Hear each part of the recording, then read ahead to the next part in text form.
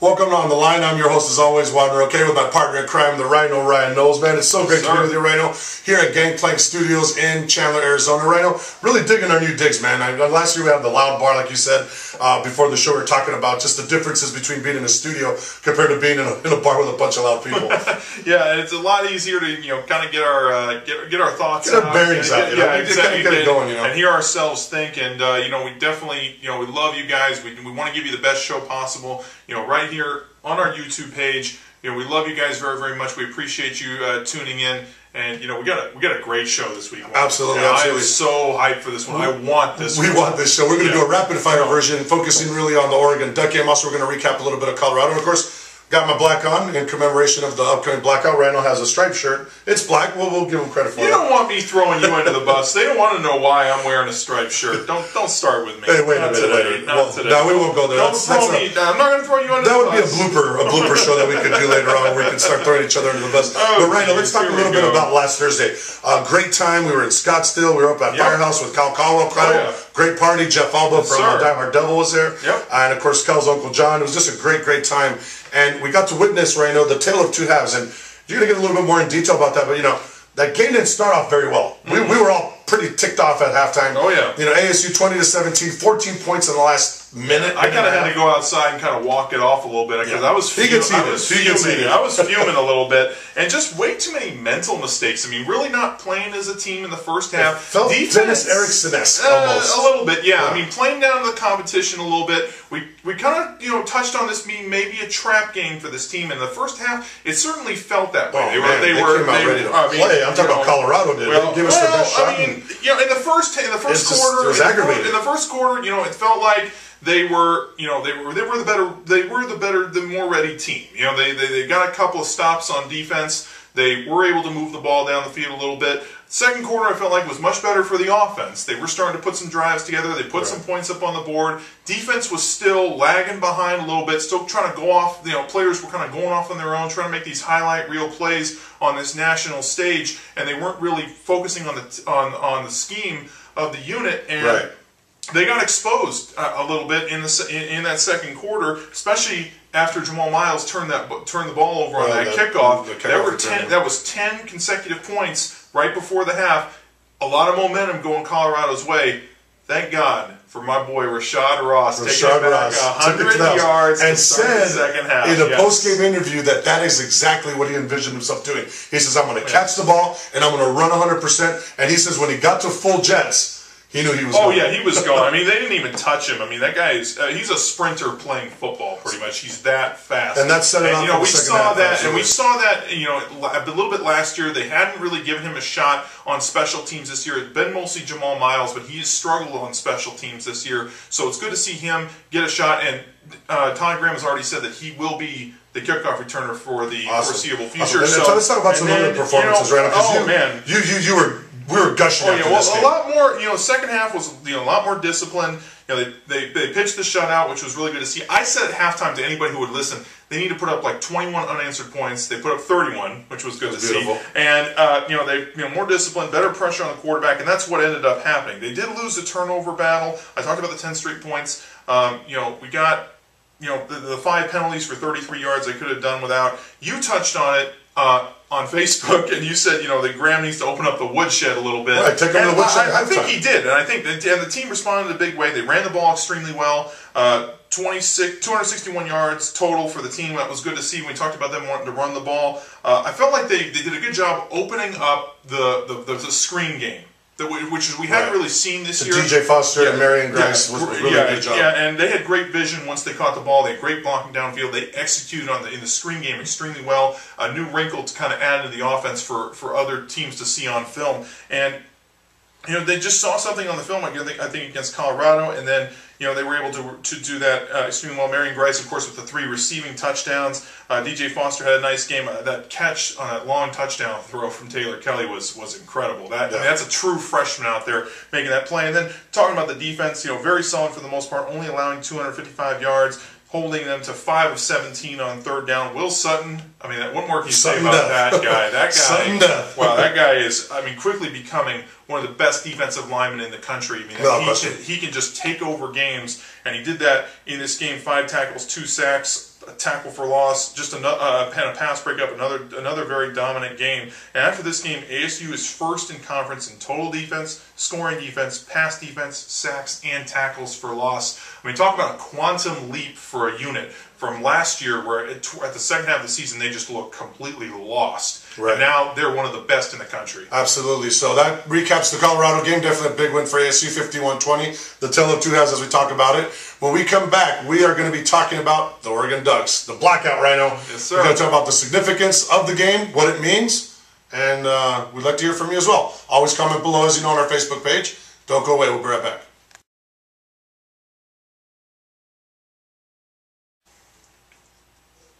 You are on the line with your host, as always, Juan Roque, and my partner in crime, the Rhino Ryan Knowles. And Rhino, talking about this blackout, yeah. this is a big deal. Oh, uh, October huge, 18th, a, huge. a lot has been put into this ASU with the citizens, concerned citizens of the Pac-12 advertising. Black out talking the duck. about the duck, Black blacking out the, the duck. Yep. We blacked out our Facebook page. I had the idea yesterday, watching Monday Night Football as I watched Peyton Manning lead the Broncos to that great comeback victory against the Chargers. Had this idea about blacking out my profile picture, blacking out my uh, my cover photo on my Facebook page. Mm-hmm and it just took off like wildfire. People oh, yeah, said, "Well, I'm not. I wanted to do it Wednesday. I thought about doing it tomorrow at 6 p.m., 24 hours before the game, and I, I couldn't control it. By the time an hour had passed, pretty much it spread like wildfire through all the different websites. And Randall, talk about our Google Plus yeah, page as well. Our Google Plus page is also going to be blacked out uh, here in a little bit, and you know definitely want to join our circle on, on that. We're you know we're taking over social media. Absolutely, we're, on we're every, the kings. Yeah, we are on every social media circle, and definitely join our Google Plus page. We're on Twitter as well, on the line seventy four. So definitely follow that. We put a put a lot of updates about our videos there as well. So, but yeah, getting back to this, I mean, this is really speaking of viral campaigns, though. I mean, you know, ASU launched this thing with the, with the blackout the duck with the whole campaign. That's great. Yeah, I mean I that, that's yeah, that, that was really, and, it was really it, funny. It, I mean, it, got, it, shows some, you how different the approach is it, too, and it got some airtime on the in the Colorado game Absolutely. as well. And, and here, Randall, think about a year ago the blackouts. Yeah, not that much was put into. I mean, yeah, well, it was a blackout in the students, but there were a lot. You there was good Steve Patterson's There was good, yeah, but there was good turnout for the Missouri game. But yeah, but and, and, and U of A. But what I'm saying about the leadership potential, I mean that always starts from the top. And when I saw what was going on with the concerned citizens of Pac-12 blocking out the duck, what ASU is invested in this, it starts at the top. And Steve oh, yeah. Patterson, you deserve my salute because I know that came from his mind about doing these different things. He has to sign off on it. He's taking some chances around. He's putting us out there, and I love it. Oh yeah, I love it. Definitely, yeah. It's I mean it's a, it's a it's a fun, different take on on what you're wanting to do, what everyone's thinking. Absolutely. I mean, you know, you want to go out there, you want to you want to be competitive, you want to, you know, present a you know a, a, hostile environment when the, you know when the opposing team comes in. Why not? The Ducks do it all the time. Absolutely. Have you seen, have you seen their stadium in a home game? It's it's incredible how many people yeah. they pack in there. Sixty thousand and, and it's change. and it's it's so so loud. So that's the kind of environment that you want you know people to come you want opposing teams to come into and i feel like that's what he's he's got going right now with this you know with this campaign absolutely and you know i i, I fully expect that that stadium to be blacked out completely right and uh, looking at the actual matchup so you got the number two team in the country we're going to talk about their offense and defense here in the next uh, couple yeah. of segments but looking at what I would say the hype surrounding this game. ASU five and one. Not a lot of people thought they'd be five and one. No. Uh, chosen to come in last, sitting in first place. Mm. SC is very mortal right now.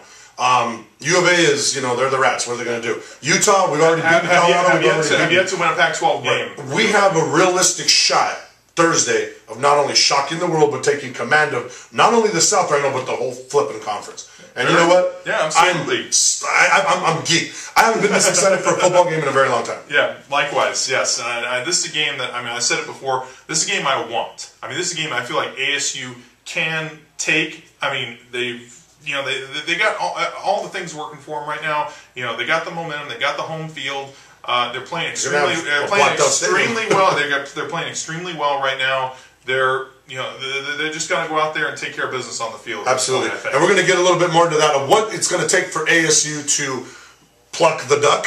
when we come back, we're going to be talking about the duck offense, talking about what ASU defense is going to be facing on this Thursday. Don't go away.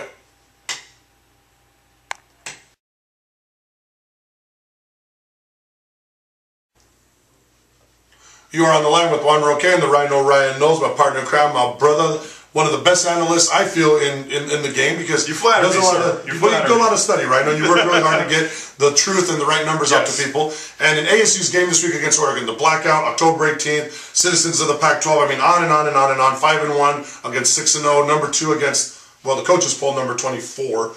25? Yeah, well, yeah. I mean, Something like Oregon, really Oregon's, matter. Oregon's in the in number two and with the, the, the, the polls that matter, the BCS Right. standings, and they They're are. three in the BCS actually.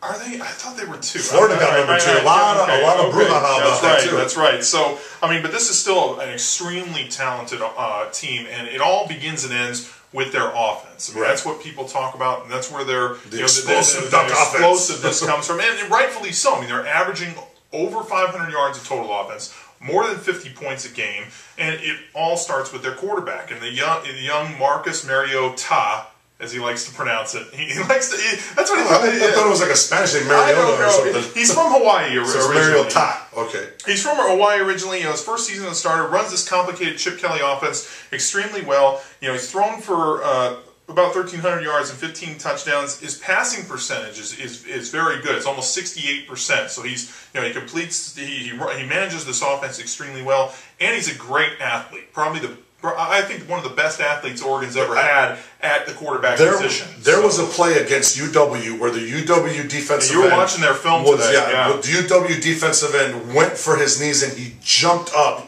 literally like he hurdled him and completed a pass. He can, yeah, he can get That run. was yeah, one of he, the he gets out, most he- impressive he, plays gets I've seen in a and while. He runs a little bit. I mean, that's what the Oregon offense does. I mean, it's that spread them out. You know, a lot of misdirection. They use their speed extremely well, And he that- prolongs spread out the speed. offense. Yeah, and he's run for 221 yards and a touchdown. Doesn't throw the ball. He doesn't throw a very good deep ball. But with this offense and their big playability, especially from the, the running back position, you don't really need him to. And you know, it really starts with their running backs. I mean, he did, you know, speaking, I'm sorry, sticking with Mariota, uh, you know, he, he is prone to mistakes a little bit. Through throwing five interceptions on the year. He's only Actually, averaging. in their last three games. Yeah, right? that's right. He's only averaging about eight yards per pass. So that's not very many. He likes to dink and dunk a little bit and let his receivers make plays after the catch. Uh, but he did have his best game against Washington a couple weeks ago, throwing for four touchdowns. But it really starts and ends with Oregon's offense when it comes to their running backs. Yeah, and, they've been they become a running team right Oh, now. They're very they're much just so. they're all over very, the floor. Very much so, and yeah, and it's, and the, Kenjon Barner, the senior, is the guy that really talks. You really talk about. He could have been a high draft pick had he chose to come out this year. I feel,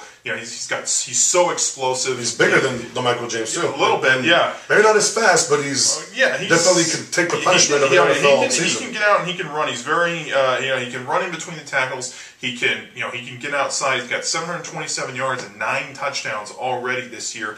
And then, of course, uh, you know, the verse, Mr. Versatile, DeAnthony Thomas, the Black Mamba. Black Mamba. That's right. Lines up everywhere. He's uh, he's run this year for uh, 377 yards and six touchdowns. But he's also the team's number one receiver. They line him up out uh, outside slot. as well. Yeah, to get him And slot got position. 20, 20 receptions, 205 yards, and three touchdowns. He's also the team's kick and punt returner, and he averages about 12 yards every time he touches the football. That's amazing. And then, of course, you got uh, the true freshman Byron Marshall, Cameron's brother. You know, I mean, he's uh, he's a good change of pace back. He's a he's a bruiser. He can run in between the tackles extremely well. And when you have some decent, some very good receivers on the outside, Bralon Addison, Keanon, and Keanon Lowe, as well as a very good tight end in uh, Colt Lyerla. You know, this is a very stacked offense, I feel, and they, they rely on their speed, the misdirection. You know, they go in no huddle, they spread out defenses, and they, you know, they really outwork teams. And you know, talking, you know, I know, and the offensive line plays well, a big role in it's, that. it's it's a group that's not very experienced, but they've been playing very well. They they have two seniors, they have a sophomore, a true sophomore, and a redshirt freshman starting. And and specifically the younger guys, just as we wrap, wind this down, I think they are going to be the most vulnerable at their tackle spots. That's where they're really the youngest. You know, Tyler Johnstone, redshirt freshman, right here from Hamilton High School, uh, 6'6", 292, so he's big enough to play the position, but he's very susceptible to the speed rush. Uh, several times Washington defenders blew right by him, but of course Mario Mariota and his uh, ability to avoid the rush uh, was able to save his neck. But this is a guy that needs to be attacked. Junior Neely may be able to have a field day with him. And Jake Fisher is a true sophomore from the Upper, Upper, Upper Peninsula of Michigan. Uh, Traverse City, six foot six, 294. A true sophomore, played as a true freshman last year, backing up at guard. He's another guy that ASU could potentially expose with Carl Bradford because, again, he has good feet. He's probably going to be all Pac 12, but it ain't going to be this season. you got to keep contained on the outside with that speed. Um, you know, I feel like Absolutely. ASU's linebackers need to have their bring definitely bring their A And it's definitely, as we wind this down, Hroniss Grasu is one of the better centers in the Pac-12. Uh, started as a redshirt freshman last year, and definitely is their anchor. But uh, a lot of a lot of ways we can expose this offensive line. Yeah. So that's going to wrap it up for the Duck offense, folks. When we come back, we're going to be talking about the Duck defense. Quack quack quack. How's the ASU offense going to be able to stop these guys? Don't go away. We'll be right back.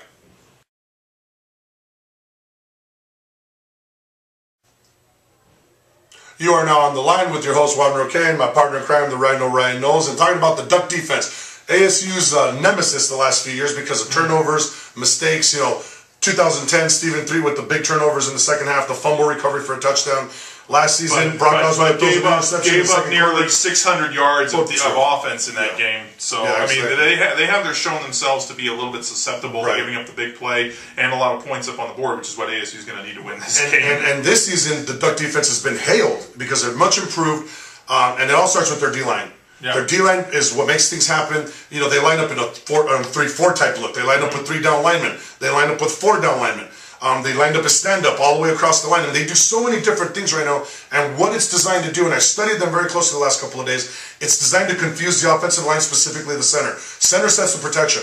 These guys move around. They line up in different places. They'll line up inside. They'll line up outside. You know, Dion Jordan will line up as a linebacker. He'll line up as a true defensive end. He'll get down into three. He'll get up in one, in a, in a two point. So it's all designed to confuse the protection and find openings for their blitzers. And they got very good pass rushers. It starts with their defensive ends. That's the strength. Taylor Hart uh, is their leading sack man. He uh, four sacks on the year, 18 tackles, four tackles for a loss, uh, defended pass rating and a fumble recovery. This is a guy who needs to be watched. He's six foot six, 290 pounds. He's big. Uh, he's a guy that needs to be controlled. He can get up in the air and bat passes down. And of course, Dion Jordan is Yeah, their he's son. six seven. Six, yeah, seven, he, can, yeah. he can do that as well. Dion Jordan, 6'7", he's a great 243. athlete. Absolutely, right here from Chandler High School, right here right. down the street. Uh, and uh, is their guy. He's their guy. Doesn't have as many sacks as, as Hart does because a lot of times he's double teamed. They do spy him. They drop him in coverage. He does all kinds of different things in that position. He's he's like a hybrid. He's like an inside outside linebacker, defensive end. These are the two guys that make that defense go Right. and open up the game for the second level. Isaac Remington, Wade Keliikipi. Those are guys that are more the stout guys. They're there to just take up room, absorb two or three blockers, and That's what Rhino. Their in a three, linebackers is really where you- this. That's what you need in a three Right. four. And the linebackers is where it's and, at. And, and it all starts and ends in with their middle, their senior middle linebacker. A lot of seniors on this team, a lot of upperclassmen. And Kiko Alonso, their middle linebacker, is the real stud here. Uh, 36 tackles, seven tackles for loss, a sack, and two interceptions. Really fills up that stat sheet. He was the Rose Bowl defensive MVP last year, and he's finally playing up to his potential after you know the three really subpar years. He's had some brushes with What, the what, law. what have you seen Rhino in this season? He's got That's excellent different. range. I mean, for a middle linebacker, especially in a three-four, you need to be able to run sideline to sideline and cover the pass and play the, and play the run equally well. And he's got great instincts for that, and he, he- he's just a complete player in my opinion at that middle linebacker. And you said he's overcome some legal issues too. Yeah, that's huh? right. Yeah. So I mean, for him to come back from that and you know really stick with this program, I think is a, a testament to his character as well. And then you talk about what on the weak side, Michael Clay. You know, 33 tackles, three and a half for loss, two sacks. He's built a little bit like a safety. He's only like 5'11 on that weak side linebacker spot, but he's an excellent tacker. He also moves extremely well sideline to sideline. They like to move him into the middle next to Alonso, and they both Yeah, they and together together they play the run extremely well up the middle. And then uh, you know, we you can't talk about the, the, the Ducks defense before this season without talking about their safety Brian Boyett. Unfortunately, he was uh, he's out for the year. But a guy who's really stepped in and played it very well for him is Avery Patterson, a guy who's kind of underachieved in his career, but really stepped into his own this year at that free safety spot. He's got 28 tackles and a couple interceptions as well. Uh, the strong safety Brian Jackson is, a, is a- an outstanding player. He's got five pass breakups on the year, as well as two fumble recoveries. So he really gets after. Yeah, they- they a- strip the ball. He's They're a, strippers, they- they- yeah. A lot of people have called him the predator because he, he really gets after. He's a ball hawk. Yeah, they're strippers So- and they're not the right. They're not the ones on the pole. They're the ones on the football. and then, uh, you know, definitely got to talk about their uh, their very talented corner, Ifo Ekpre-Olomu. Uh, 25 tackles, couple interceptions, 10 pass breakups on the year. I mean, he's got great closing speed, and he's also got four forced fumbles on the year. I mean, he gets after it. He's always around the ball. Uh, definitely a very talented uh, uh, player there at that corner spot. And they're only giving up 360 yards total per game and only 20 points. Uh, much improved from and, last and year. You, which you, I mean, when, you, when your offense is when your offense is as talented as they are, you know, you don't really need to be playing a whole lot, of, a, a ton of defense. But I think they will in this game because they have not seen a team as dynamic as ASU, especially on offense. This is going to be a game that's really going to test that Oregon defense about whether or not you know they can they can contain Taylor Kelly in the pocket because I, I, no team has been has been able to as of yet. And Taylor Kelly, of course, without an interception since the Missouri game when there were two picks, one in the second quarter and one in the. those, the were, those were his only two picks right. all year. Exactly. So, so yeah. definitely ASU ball security is going to be huge. Yeah, and sticking with the Oregon, I'm sorry, just one more thing to mention about Oregon's defense. Of course, they did pitch a shutout against Arizona, allowing zero touchdowns in five Good for them. trips. Good for them. But don't do it to us because we're going to do it to you. That's right. All right. That's going to wind it down for the intro to the Oregon defense. And as uh, we start to wind down this rapid fire edition of On the Line, we're going to be talking about the keys to the game. Don't go. Don't go. We'll be right back.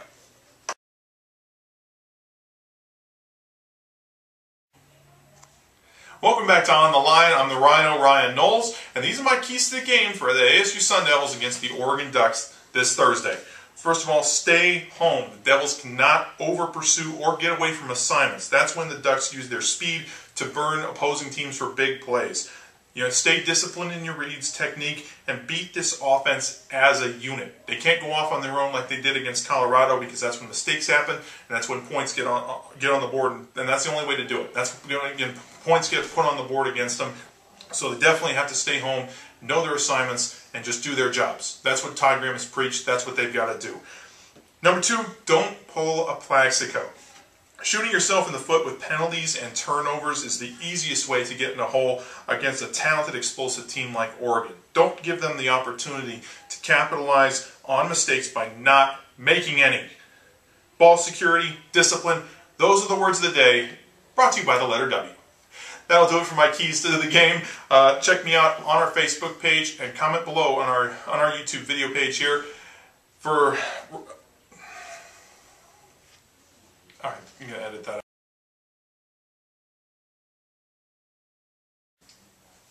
Welcome back to On the Line. I'm your host, Juan Roque, and my keys to the game for ASU's blackout game against the Oregon Ducks is very simple. Protect the football. No turnovers. Oregon is an opportunistic team. They are good at stripping the football. They are also very good at squatting on coverage. They sit on routes and they read the quarterback's eyes and then they'll jump the football and get cheap interceptions. They did that against Washington a couple of times. They cannot allow themselves to get into a lull and allow Oregon to anticipate where the ball is going. That's that's big time in this game. They got to be able to be precise, be decisive. Taylor Kelly's done an excellent job of not turning the ball over. He cannot get into a bad habit on Thursday of allowing these duck DBs and linebackers to read where his eyes are going and key in on a receiver too long. Also, another big thing in this is going to be on the run game. They cannot put the ball on the ground in any fashion. This is going to be a big game. Turnovers are key. Oregon, again, opportunistic team, cannot turn the ball over. That's going to be the biggest one for the offense. On defense, pressure, pressure, pressure. They got to stuff their run game. You got to make Mariota beat you with his arm. He is not very uh, adept at getting the deep balls. He gets very cheap uh, throws because the defensive breaks down and covers. And that's another thing that they got to do. Pressure, pressure, pressure the quarterback, and they got to be able to get ready, get set. Do not let the Ducks get cheap yardage or cheap plays by lolling around and waiting for them. These guys sprint to the football and they snap the ball quickly. So Randolph is going to have to get his team ready for a, for a fast-paced game. They got to be able to get to the quarterback, knock him over, and they got to stuff that running game. Kenjon Barner cannot be allowed to run free. This team is averaging over 300 yards on the ground. It has to be stopped. There is no alternative. You got to make them beat you in the air. One big stat for this game that's very interesting is Oregon has allowed 41 tackles behind the line of scrimmage this season for for a loss uh, uh, of over of over 100 of over of over 300 300 400 yards. Now ASU, on turn, is averaging 6.8 tackles per loss per game. This is a huge step for ASU. They got to get these guys behind the line of scrimmage. They got to tackle them. They got to make big plays. They got to get them in third and long, and they got to make them punt. I'm Juan Roque. Those are my keys to the game. Of course, join our conversation anytime on our Facebook page. Comment below what are your keys to the game. We'll always respond. You may not like what we have to say, but we're definitely going to say it.